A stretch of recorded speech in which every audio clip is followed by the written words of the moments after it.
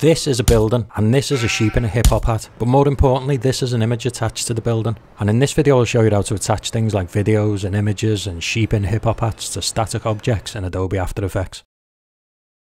Alright, so I've got the clip from the intro in my project panel. If you want to download this to follow along, I'll leave a link to it in the description. So we'll grab the clip and drag it onto the timeline to make a new composition. Then we'll come up to Window and Tracker. That'll open the tracker panel over on the right. So making sure the video is selected, we'll come over to Track Camera.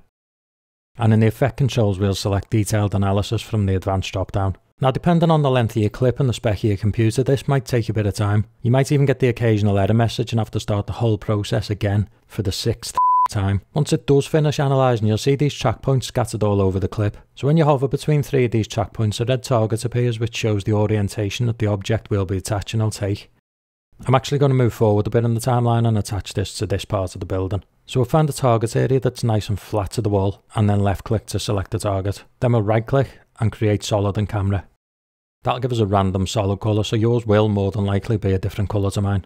You'll also notice new track solid and 3D tracker camera layers in the timeline. So it's this track solid 1 layer that we want to add our content to. So to do that we'll right click on the layer and pre-compose. And you can call this whatever. And OK. Now we can open the layer to change the content. So we'll double click on the layer and that'll open it up in the new comp window. So you can come up to composition and composition settings and we can change any of these settings. So let's say you wanted to add a 1920 by 1080 video. You could go ahead and select one of the presets for that. But I'm just going to leave this all as default for now. You can always come back and change this later if you need to. Okay, so the first thing we're going to do is delete this solid colour. And then we'll grab whatever it is you want to attach to the wall. So you can drag an image or multiple images and text or a video or an animation. But I'm just going to grab a PNG. And then we can scale this and move it around and stuff. Once you're happy with the placement of your content, we can close the comp. And then you should see your object attached to the target. So you can see this is a bit small and the angle's a bit off, so let's just zoom in a bit. So to fix this, we'll come down to the track solid layer and twirl down the transform options. And first I'm going to up the scale to make the whole image a bit bigger.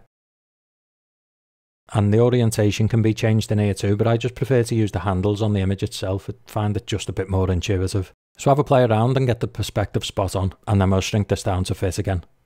And play it back, and that's how to attach things to things in Adobe After Effects. So if you found this video useful, hit the like button. If you're not already, consider subscribing to see more stuff like this, and hopefully I'll see you in the next one. See ya.